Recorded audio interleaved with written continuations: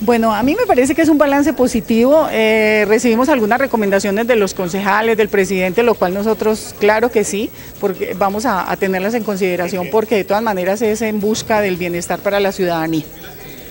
Eh, hay, algunas, hay algunas situaciones que precisamente se han dejado entrever, como el tema de algunos vehículos que, no están eh, siendo utilizados y se donó precisamente por parte de la administración municipal. ¿En qué va ese trámite? ¿Cómo se piensa solventar esta situación? Pues mire, saliendo de aquí vamos a hablar, vamos a tener reunión con la policía para mirar cómo solucionamos el tema, porque si la administración le entrega esos vehículos a la policía es para que la policía los utilice. Doctora Albanelli, a pesar de los ingentes esfuerzos que se viene haciendo por parte de policía, por Secretaría de Gobierno, todavía queda una percepción de inseguridad en las comunidades. ¿Cuáles son las recomendaciones usted como jefe de la policía? Mire, la, eh, recomendación es que la comunidad se una.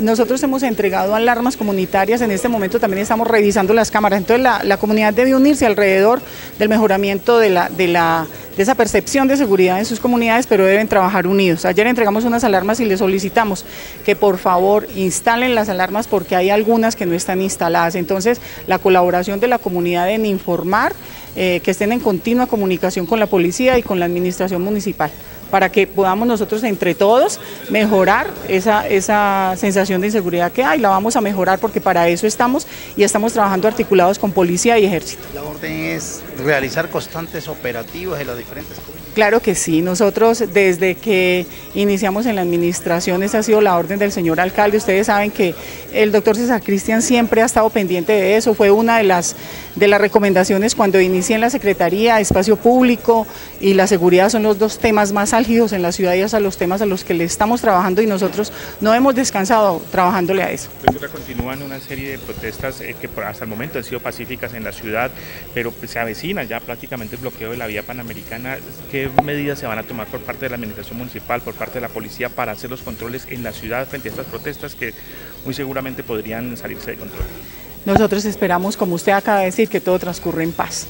Pues como lo dijo un concejal, eh, yo desde que llegué, lo que yo he hecho es hacer acercamientos y conversaciones. Ah, no me gusta eh, entrar de una chocar. Yo pienso que el diálogo es parte de construir, de construir y de eso se trata. Y nosotros eh, pues esperamos que, como usted lo acaba de decir, todo transcurra en paz. Yo tengo confianza que todo transcurra en paz. El gobierno nacional debe escuchar a la gente porque la gente está haciendo un justo reclamo.